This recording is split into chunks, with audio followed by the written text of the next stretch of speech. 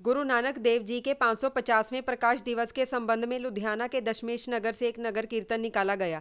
ये नगर कीर्तन शहर की परिक्रमा करते हुए गुरुद्वारा आलमगीर साहब में जाकर समाप्त हुआ। धन धन साहब श्री गुरु नानक देव महाराज जी के साढ़े पाँच सौ साल शताब्दी समारोह के संबंध में अज गुरद्वारा बाबा विश्वकर्मा साहब गली नंबर बारह महला दशमेश नगर की समूह प्रबंधक कमेटी द्वारा ये नगर कीर्तन कढ़िया जा रहा है, जो कि ਗੁਰਦੁਆਰਾ ਬਾਬਾ ਵਿਸ਼ਵਕਰਮਾ ਸਾਹਿਬ ਜੀ ਗਲੀ ਨੰਬਰ 12 ਤੋਂ ਆਰੰਭ ਹੋ ਕੇ ਗੁਰਦੁਆਰਾ ਪਾਤਸ਼ਾਹੀ 10ਵੀਂ ਮੰਜੀ ਸਾਹਿਬ।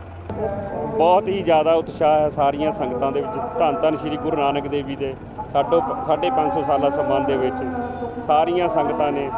ਅਸੀਂ ਤਾਂ ਸਾਰਿਆਂ ਨੂੰ ਪ੍ਰੇਰਣਾ ਦਿੰਨੇ ਆ ਵੀ ਸਾਰੇ ਜਣੇ ਅਸੀਂ ਸਾਡੇ ਗੁਰੂਆਂ ਨੇ ਜਿਹੜੀ ਵਧੀਆ ਰੀਤ ਚਲਾਈ ਹੈ, ਰਲ ਮਿਲ ਕੇ ਸਾਰਿਆਂ ਦੇ ਨਾਲ ਇਕੱਠੇ ਚੱਲੀਏ ਤੇ ਧੰਨ ਧੰਨ ਸ੍ਰੀ ਗੁਰੂ ਨਾਨਕ ਦੇਵ ਜੀ ਦਾ ਕੋਟਾਂ ਨੂੰ ਕੋਟ ਧੰਨਵਾਦ ਕਰੀਏ।